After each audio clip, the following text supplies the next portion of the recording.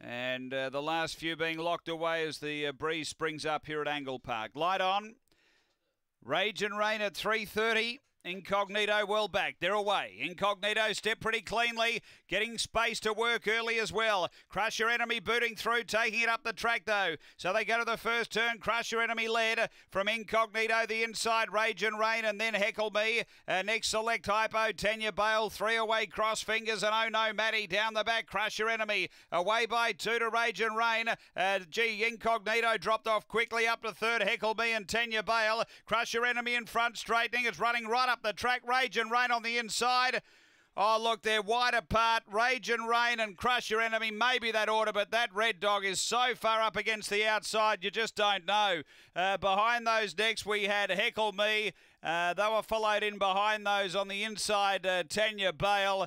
Uh, we had Incognito, Crossed Fingers. It was back toward the tail. The time 30 37, and the six is in the frame. Six is the winner. It's uh, six, one, seven, and two. Number six first, Rage and Rain for Robin McKellar.